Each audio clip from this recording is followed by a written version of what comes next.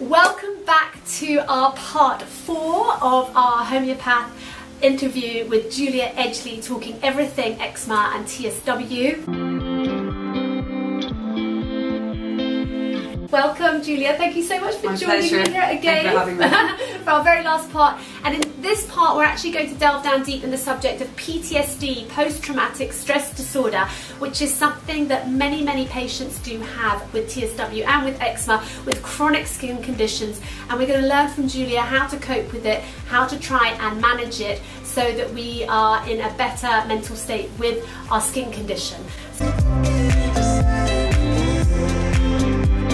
Julia, tell me a little bit about what you've seen so far with some of your patients who have TSW and extreme eczema, um, and how this is very much linked to PTSD. It's I'm really really glad that I can talk to you about it because it's just I think a lot of people patients with TSW with eczema they don't even realise they've got PTSD. Yeah.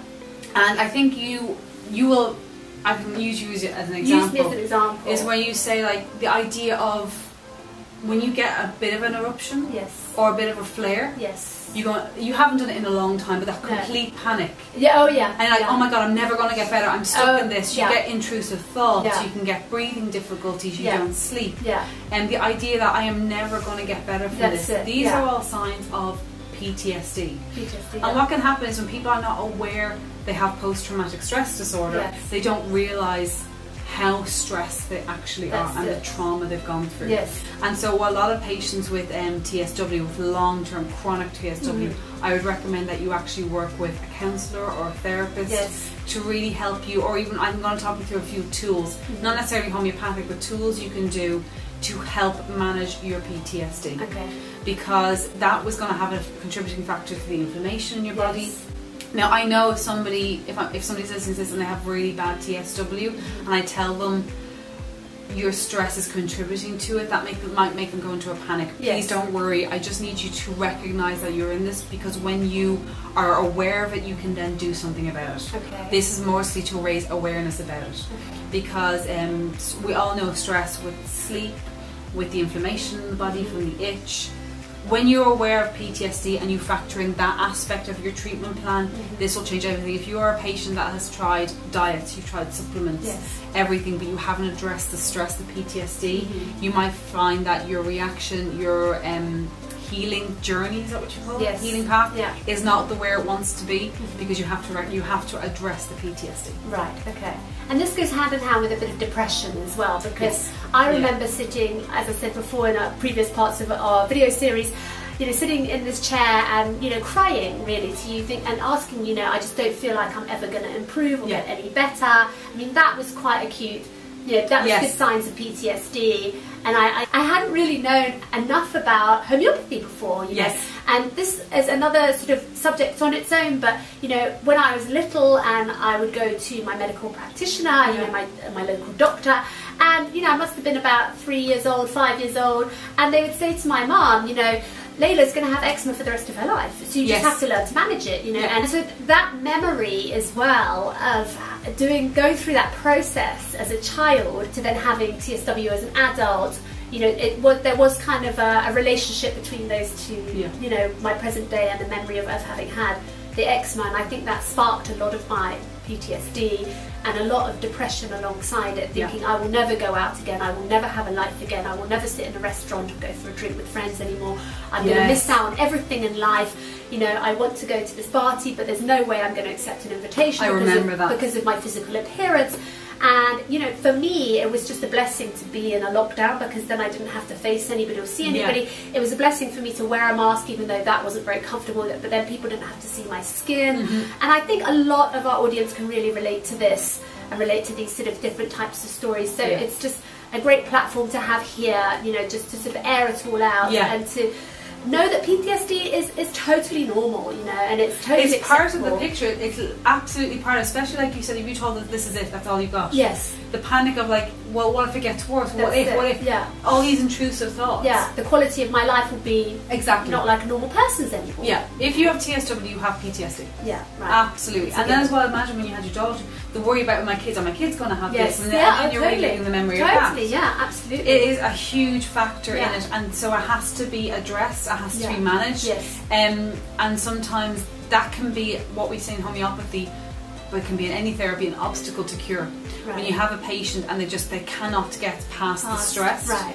The stress, I'm like, okay, we need to kind of address this first Yeah. before I can even really go near your skin. Right. Because emotionally, it will just be. It can be even more stressful doing the diet Yeah. because of Yes, PTSD. yeah, yeah, Because yeah. I always remind you every time you're having those gluten-free cereals, Yeah. you're like, oh my god, I'm sick, I'm ill, I'm never going to get better. Yes. So that can flare up the PTSD. Right. So you actually have to see the intensity of it in a patient's case to see, okay, we, need to address this first. Right. We'll do everything else will be management until Yeah. we can really get into the deep Yeah. treatment of the skin. Okay. Okay. Yeah. It can be that Yeah. big, it can be that Yeah. powerful um, of a symptom in a case. So if we were looking at treating somebody with TSW or severe eczema as an onion, Yes. the first layer is really treating that PTSD It can be. It can be. and then getting to more of those maintaining causes and Yes. the root causes, and, and then obviously treating liver issues, gut issues, Exactly. and then and then going on sort of a treatment plan with yourself, and alongside having those remedies. And the re- remedies that we've mentioned in other parts of this series as well. And then, what else um, could we do with our PTSD? I mean, uh, anything initial that we can take Okay. for our remedies, for our symptoms, for Well, I'll tell you one thing that's not necessarily a remedy because Okay. I can imagine that somebody who's going to TSW, you know yourself, you can be on a lot of things. Yes. So sometimes you want you don't have to be taking something else. Okay. So in some cases, I will recommend herbs. Yes. In some cases, the the clear homeopathic remedy because. PTSD, how you emotionally respond to your eczema, can be one of those global symptoms. Okay. So it can be very individual, the remedy. I'll talk about four really acute remedies that will be working, but you don't want to be taking something else right. another herb, another supplement. So Right. what you can do is lifestyle changes. One, you can do um, what I love is binaural beats. You know I love binaural Yes, yes, yes. So binaural beats, they um, they are not to replace any type of medication for anxiety I think because some patients can be on anxiety medication as well. What are they do is to give you that moment of relaxation where you can get you can change your nervous system response. Uh-huh. So it's actually quite physical, and you can just. If you've ever tried meditation, I don't know if you've ever tried meditation. Have you tried meditation? I, I, you know, I have tried it. I'm rubbish at it. I'm not very good at it. No, no, I don't really it. have that switch off. You No. know, sense. I think I think you really have meditation is something you really have to work at. You know, Oh, you have to every single every day, single day. dedicated it's, to it's, it. It's like I, I just don't. I can do really- it when my life is calm, but not Yeah. when life is hectic. But they say when your life is Yeah. hectic, that's when you need it. I'm like, oh god. So binaural, if that sounds like you, binaural beats is going to Yes. help you. So binaural beats, our ears hear two di- uh, um, slightly differently, and so binaural beats it can be um, cache, hidden in Hidden, music, yeah, sorry, yeah. hidden in music, um, or bird songs, or piano, Yes, or river yeah. songs. And it changes the um, br- our brain waves. So there's different brain waves, Yeah. and will change you into the brain waves for relaxation Right. similar to meditation. Yeah. I've had patients who adore their binaural beats. On my Instagram, I do binaural beats Mondays where I do one minute of an example just to show. I do different types of beats. Yeah. Yeah. You can tell when someone is anxious because I will do. I will put on a binaural beat that will increase ac- uh, brain activity for creativity, for motivation, Right. and they will come back to me going, "Oh my god, I felt frenzied after that." That means they were already quite anxious. Right. So I generally will do it for to calm you down. So Okay. if you want to, if now that we've spoken about PTSD, Mhm. you can say, "Oh my god, I had PTSD and I didn't realize it. What should I do?" You then need to see how it manifests in a daily, um, in daily life. So it can be, for example, you broke your favorite cup and you go into a, a panic attack. Yeah. That's a sign of PTSD, and you're Yeah. like, "I can't, I don't understand why that triggered me." Yeah. That means your nervous system is just like this. So then you can have a time when you will listen to your binaural beats. Morning times are great. Yeah. Afternoon, just after lunch is fantastic. Yeah. You will find the music. You can find these on YouTube, right? And you can listen to it for ten minutes. So you have to listen to it with earphones Right. because it has to be, or even noise cancelling will be fantastic. Okay. You have to sit in a very comfortable chair. Yeah. You listen to your binaural beats for ten minutes, and you do your breathing exercises. Yes. Yes. So you are not doing anything. You're just listening Okay. okay and you're concentrating on your breathing and over time this will physically impact your nervous system Brilliant. so then you can then process mm-hmm. the memories for example when you're a child Yes. you can bring you're not afraid of the emotions that are coming up and Yeah. then when that happens you can Yeah. start the journaling Right. get yes. all these Journaling, emotions yeah. out so if you can't have you haven't got access to a counsellor or a therapist Yes. this is a tool that you can use That's wonderful. Yeah. so that is something that is non-invasive. Everybody Uh-huh. can do binaural beats. Uh-huh. Just be very aware of the what you want to achieve with the beats. Like I said, if you are already quite somebody who's quite wound up and you listen to something that motivates you, you're going to get more wound up. Yeah. So you have to be Yeah, aware, very okay. aware of that. And how long should we listen to these binaural beats for? I um I think a minimum is ten minutes. 10 minutes a I mean, if you can do five minutes, I'm happy with anything. Yeah. It's a small amount over time. Okay. PTSD is not something that you get rid. You you work through PTSD. Ma- yeah. You don't stop it. Okay. Right. That's a continual process. Exactly. Yeah. So, like it's a separate onion to itself. Okay. We just need to be aware that it is present in TSW. Okay. And with the journaling, Yeah. sort of, you know, uh, like a week after you've tried doing your binaural beats, or is there a sensation that you think right now I can actually put pen to paper, or When you feel the emotion, because usually PTSD, it's an overwhelming panic or Yes. overwhelming fear Yes. or an overwhelming. Um, sometimes it can be anger. Right. Things like you, even you're thinking, where did this emotion come from? Yes. Where you can start to pinpoint it to a memory, or a memory comes up, or you can actually start to feel more comfortable with feeling the emotion. It doesn't flare Right. like your skin. Yeah, it doesn't yeah, yeah. take over you. Yeah, That's when you can it. start. The, yeah, Yeah, you can okay. start the journaling. Okay. And all, when I say journaling, literally just say describing exactly how you're feeling, see what memories come up. Uh, something about PTSD when a strong memory can't come up, Yeah. and that can be it can be too traumatizing again. So this is where you kind of want to start looking for somebody, reach out to somebody to talk you through To it talk as well. through it as yeah. well, yeah. it's not something that I would recommend you you do totally on your own. Yeah. okay. You need a bit of a help You with this, even a group support in this. Oh, wonderful. Okay, Yeah. brilliant. So yeah, so, so seeking out some professional help, counselling, obviously, you know, the binaural beats, and go ahead and check out uh, Julia on her Instagram account. She's Julia at Julia Homeopath, and every Monday on her story she does her binaural beats.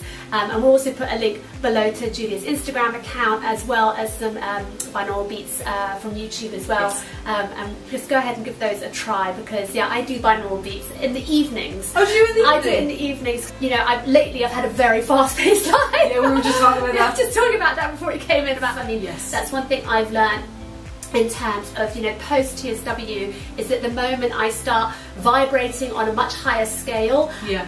is is very much linked to how soon will I have a flare up and you know Oh, that's very insightful. Yes. That's very well connected Yeah. to symptoms. yes Yeah. because I think you know if I'm overdoing things Yeah. and I'm overstimulating myself and I'm Mhm. uh, you know putting too many projects on my table and all of that Yeah. that is just adding to my stress level that is just you know sparking off my PTSD Yes. you know and and triggering things and really uh, it's all about just trying to manage myself better now because I'm sort of in Yes. the management phase of, of my condition Yeah. and you know so for those that are in the really thick of it you know to realize that Yeah. your whole lifestyle needs to you need to scrap what everything you've done beforehand Yeah. I feel you know as much as you possibly Yeah. can I mean you know every every individual is different and we totally understand You that had a great phrase there. What's the phrase that you use? vibrating yeah, vibrating. Yeah, I think actually, if you are starting UTSW and you're just watching this video, you're there, yeah and you don't even realize you're that's there. it yeah So I'm doing. So when I was talking about my treatment plans and everything, I'm just trying to bring that down. Yeah. So then you can see, like Leila, okay, now I can see what's going on in my life. yeah, that's yeah. it. You but you're there. Yeah, you're constantly. there. Yeah, yeah, yeah, and and that, that's sort of because we're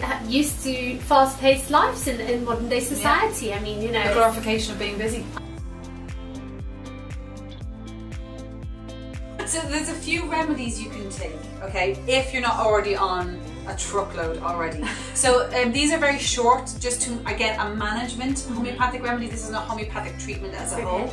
And so four remedies I would suggest that you could try for PTSD. Okay. First one you always think of is opium.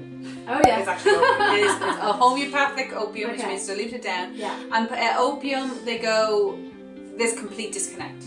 Right. They don't even realize opium. Sometimes they can go a bit catatonic. When, for example, you've broken your favorite cup, you go, and you can't even breathe, and Yeah, you're yeah. holding your breath. Okay. That is an opium symptom. Right. Now, if you're taking opium, if opium works on a very deep level for you, Okay. expect it to kind of open the floodgates of emotion. You'll want to cry all the time. Yeah. You feel great for the cry. Yeah. Be prepared for that to happen. Okay. So it's basically just taking the lid off that pressure cooker. Right. Because that's what it is. It's a very tightly closed pressure cooker. Uh-huh. It's a pressure cooker that doesn't even realize it's a pressure cooker. So that's opium.